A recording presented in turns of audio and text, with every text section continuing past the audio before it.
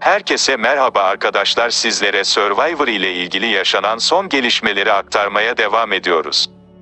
Survivor Ogeday'ın hatası neydi? Acun Ilıcalı, sonra söyleyeceğim dedi ama sağ kolu ilk kez açıkladı. Meğer bu yüzden elenmiş. TV8 ekranlarının en çok izlenen yarışmalarından biri olan Survivor'dan elenen Ogeday girişken, vedasının ardından soru işaretleri bıraktı.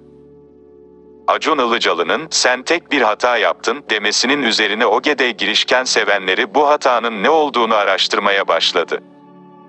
Acun Ilıcalı'nın sağ kolu olarak bilinen isimse Ogeday'ın nasıl bir hata yaptığını ilk kez açıkladı. İşte merak edilen tüm detaylar. Acun Ilıcalı'nın yapımcılığını üstlendiği Survivor All Star yarışmasında Nisa Bölükbaşı, Berkan Karabulut, Ogede Girişken ve Hikmet Tuğsuz arasından elenen isim Ogede Girişken olmuştu. Milyonları şok içerisinde bırakan bir vedanın altını çizen Ogede Girişken'e Acun Ilıcalı ise sen tek bir hata yaptın o yüzden hayalin yarım kaldı demişti.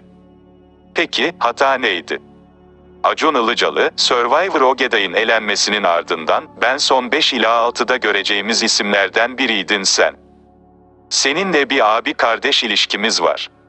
Bunu karşılıklı hep hissettim. Benim için özel yarışmacılardan birisin. Bence senin Survivor hayatında bir hatan oldu. Tek bir tane. Geçen sene bir yarışmacıya daha söylemiştim bunu Berkay'a.